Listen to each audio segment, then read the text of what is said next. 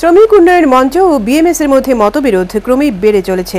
ধর্মনগরে রক্তক্ষয়ী সংঘর্ষের পরেই মতবিরোধ এখন সর্বত্র দেখা দিয়েছে। একে অপরকে সিপিএম এর লোক সিটুর সদস্য বলে অভিযোগ আনছে। রবিবার রাতে দুই সংগঠনের নেতাদের মধ্যে হাতাহাতির ঘটনায় সোমবার পৃথক পৃথক জায়গায় আন্দোলন সংগঠিত করল শ্রমিক উন্নয়ন মঞ্চ ও বিএমএস এডিনগর থানায় ঘেরাও করলে বিএমএস এর অন্যদিকে ম্যাজিক চালকরা গাড়ি চলাচল বন্ধ রাখে। দুই সংগঠনের মতবিরোধের আন্দোলনে দুর্ভোগের শিকার হতে হয়েছে সাধারণ মানুষকে।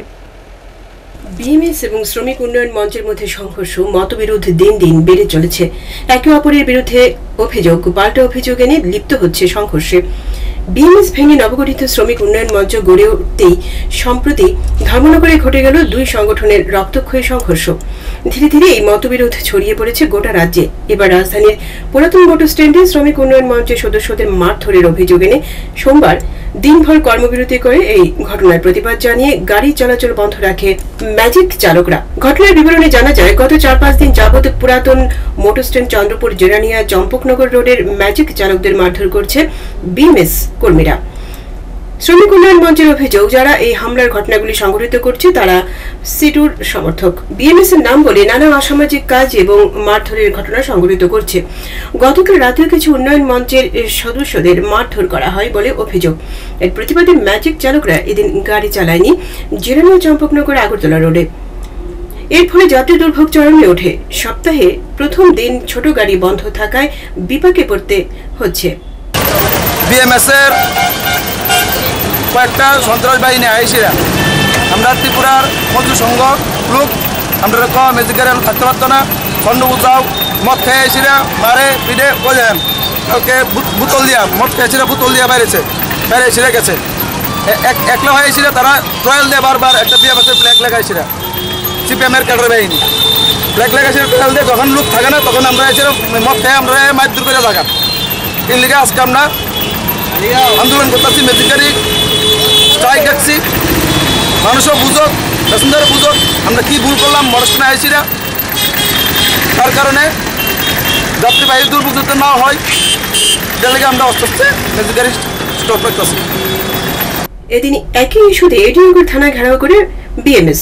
তাদের অভিযোগ, বিএমএস কর্মীদের মারধর করছে শ্রমিক উন্নয়ন মঞ্চ। এদিন দুপুর পর্যন্ত টমটম চালকের প্রতিবাদ জানিয়ে থানা ঘেরাও করে রাখেন। এক পক্ষ যখন বলছে, সিপিএম এর ক্যাডার বাহিনী বিএমএস এ ঢুকে গেছে, তখন অন্য পক্ষ বলছে, শ্রমিক উন্নয়নের মধ্যে সিপিএম এর লোক ঢুকেছে। গতকাল রাতে বিএমএস এর নাগের জেলা শাখার সভাপতি অজিত দে যাবার প্রতিবাদে সোমবার থানা ঘেরাও, পাশাপাশি পথ অবরোধ করে বিএমএস সমর্থিত। বিএমএস কর্মীরা, দীর্ঘক্ষণ চলে অবরোধ। আজকে আমাদের, কালকে সকালে আমরা এই নাগেরজলা শাখার প্রেসিডেন্ট আর একজন সহকর্মী, এই তার হসপিটালে আছে, বর্তমানে সিলেকশন চলছে। শ্রমিক উন্নয়ন মঞ্চ সিআইটি পরিচালিত বাবুল ঘোষের নেতৃত্বে প্রায় আট জন আছে, আরও প্রচুর লোক আছে। আমরা সঠিক কইতে পারি না। কালকে আমরা রাত্রে এফআইআর করছি। এফআইআর করার পরে হয়তো একজনকে তারা অ্যারেস্টও করছে।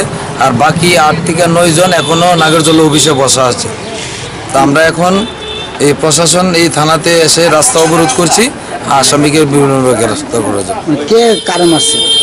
ওই তো না আমরা বিএমএস এর এই শাখার প্রেসিডেন্ট যদিও উন্নয়ন মঞ্চের নেতা বিপ্লব কর পুরো ঘটনাটি সিপিএম এর মদতে বিএমএস কর্মীরা সংগঠিত করছে বলে জানান। গত সাত আট দিন ধরে চন্দ্রপুর থেকে তিন চারজন সমাজদ্রোহী যারা অতীতে এই রাজ্যে যে শাসক দল মানে ওই সময় যে দলটা ছিল সিপিএম সিআইটু ওই সংগঠনের নেতৃবৃন্দরা আজকে বিএমএস এর নাম ভেঙে তারা বিএমএস এ যোগদান করেছে।